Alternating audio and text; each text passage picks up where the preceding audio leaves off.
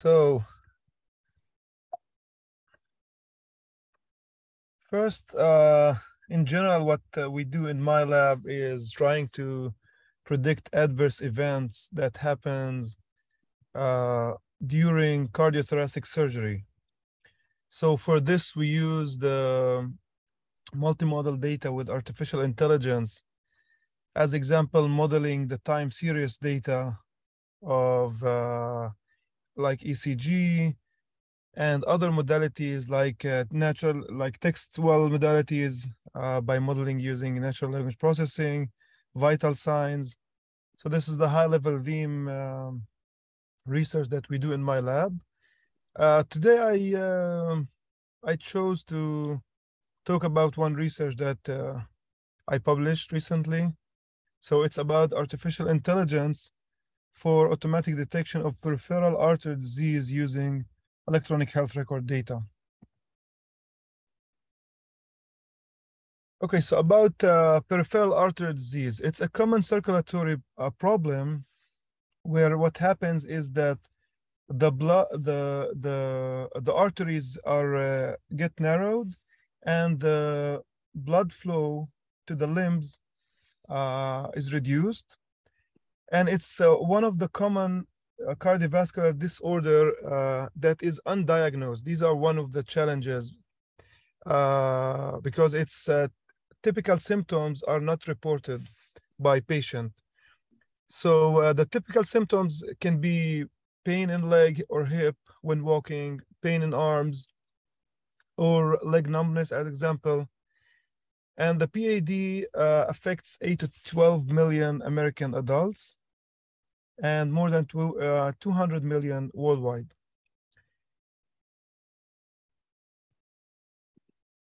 So the limitations of the current uh, models and algorithms that are being used are that uh, they use classic risk factors using regression models, which would uh, limit their uh, uh, feature modeling to demographic data laboratory data and comorbidity data. As example, what disease can happen with this uh, for patient that has this specific disease.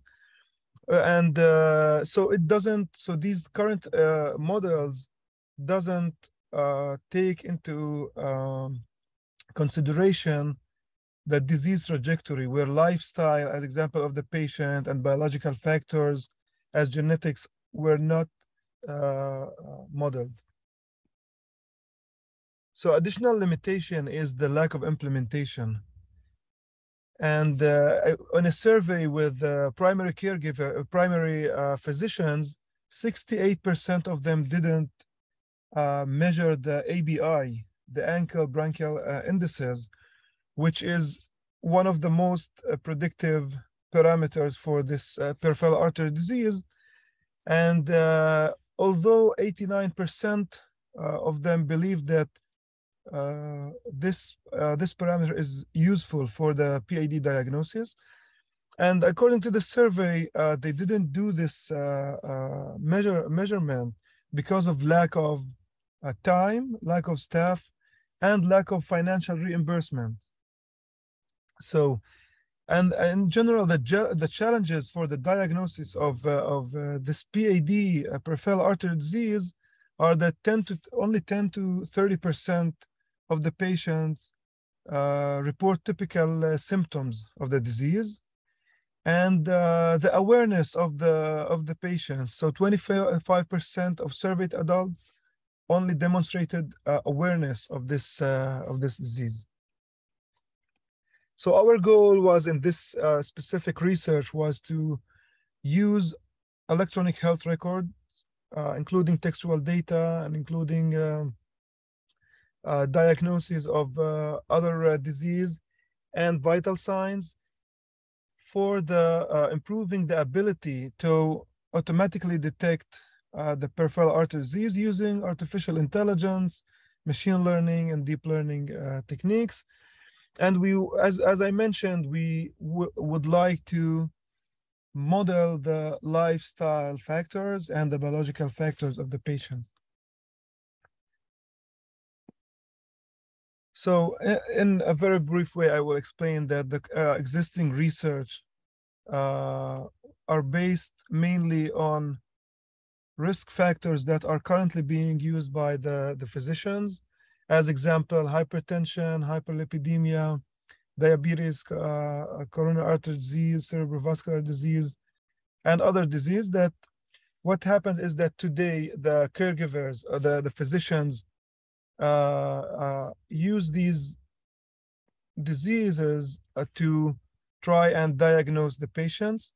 And uh, the, the current work uh, research that existed before the, our, uh, our research was, was using logistic regression that takes these parameters as input and try to detect whether PAD, whether this patient has a PAD or not. And uh, part of these uh, uh, parameters require significant effort, as example, the hypertension or diabetes. And still these models uh, were uh, had modest uh, performance as 0.6 area under the curve score. Other models try to use NLP uh, by having rules of what concepts that uh, that describe the PAD were uh, existing in the electronic health records, and they report that their models were uh, were able to achieve accuracy of 81.8 percent. So I'll uh, I'll talk a little bit about the cohort uh, uh cohort characteristics that we had in our studies. So approximately 70% of our uh, uh cohort was Caucasian. 60% or 60% of the P, uh, PAD patients were male, and 40% of the controls, the controls that those are the patients that are, didn't have the PAD, were male. And then uh, uh, we, we found that uh, the PAD patient had higher burden of comorbidities.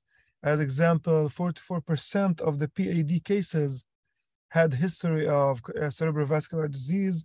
72% of them had coronary artery disease. So, uh, and some other also uh, more frequent uh, disease that uh, happen that that uh, patient of PAD has these uh, disease as heart failure, hypertension, diabetes. So what we try to do is uh, to use multiple types of uh, machine learning and deep learning models to uh, try and improve the the existing state of the art achievements.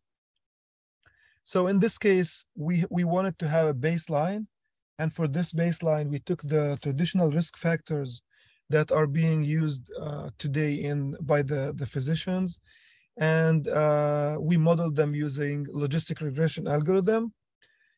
Additional algorithm that uh, we developed for uh, using electronic health record for evaluating how these electronic health record information would help in improving the, the capabilities of uh, diagnosing uh, PAD patients so we use random forest, which is ensemble learning model that uh, uses multiple, uh, in this case, multiple trees, and then vote which, uh, according to the performance of these uh, multiple models, and take the decision. Additional uh, uh, models that we use are deep learning models, as example, the recurrent neural networks, which are known for their ability to model sequential data. Since a patient uh, since we need to uh, model the historical data, the visits of the patient, we needed to uh, uh to have a model that can consider, take into consideration these uh, sequential data. So for uh, and and as as I as I mentioned for accurate prediction, we need to model the the trajectory of the uh, patient, the, the care journey of the patient by using information that appeared in the electronic health records during the visits. So in visits, the, the, the doctor can say, uh, can diagnose as the patient had uh, uh, diabetes or can report that uh, the, the patient is a heavy smoker as example. And on each one of these visits, we have the information that would that might affect uh, the, the specific uh, cardiovascular disease that we are trying to predict. So in this case, uh, we use recurrent neural networks. Since recurrent neural networks, uh, uh, the simple implementation tends to forget in long se sequences because of the problem of vanishing gradient. So we used a variation of RNN, which is long short-term memory. And in this case, we were able to model longer sequences uh, uh, of the of the data, which uh, made it made our model more predictive. So, uh, so we model information over time. So the I will skip to the next the, uh, architecture where we where I show. So this is the architecture that we used. So one component on the left we can see uh, the component that models the sequential data. As example, we have the uh, on each one of these visits, we took the age of the uh, of the patient on that on the uh, visit uh, timestamp time. Uh, we took the recency, which is the the distance in time from the time from the date that we are we are performing the diagnosis and uh, the type of concepts and the concept IDs. So the concept uh, we in Stanford we had like a system that models each one of the disease, each one of the concepts that were mentioned in the electronic health records. So uh, we have the type of the concept and the concept itself.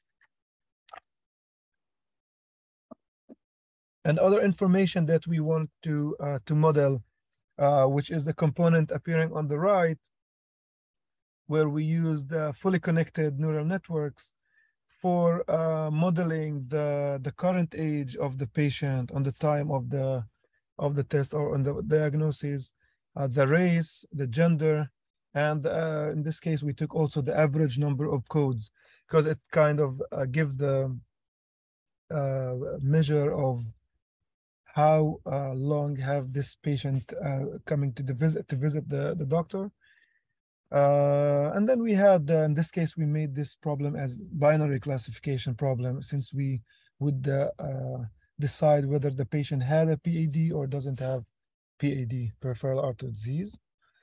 So in this case, we we had we uh, performed a, a five-fold cross validation, and we can see here that we were able to achieve um, a very impressive uh, uh, AUC compared to the existing uh, algorithms because we were able to use we has we had large data set and we were able to use the deep learning models that can model the journey of the patient, the visits of the patient. And we can see here, we compare here multiple fo uh, folds. Uh, so the, the AUC on the left shows how shows how um, good we are in true positive versus false positives, and uh, the graph on the right shows how calibrated these uh, algorithms were. So the closer to the, uh, the, the ideal line in the in the middle, uh, the better and the more calibrated the algorithms. And then here we uh, try to understand what are the most predictive features uh, uh, using these um, machine learning models. We were able to do this by, um, by as example, random forest that we used that give, can give us the importance of these features. And we could uh, find that the post-procedural state finding, as example, was uh, one of the features and uh, essential hypertension, abdominal aortic aneurysm, hyperlipidemia, type 2 diabetes uh, without complications and other. So these are ranked, as you can see, according to the length of the, uh, the blue uh, chart. And then uh, here we report the, the comparison between the logistic regression of the uh, traditional risk factors, the random forest, which was using the electronic health records data and the deep learning algorithm. Uh, as we can see, the deep learning was outperformed the rest by 0.96 uh, in AUC, in average AUC. we can see that we ha- uh, it had the highest sensitivity specificity, uh, uh, where sensitivity uh, shows our ability to decide for a patient as a positive while he truly has the, uh, in this case, the PAD uh, disease. Um, and uh, this is in short uh, the this research and i think we would have a question in the end thank you Thank you so much, uh, Professor Amal, for your presentation uh, with yours. And like Professor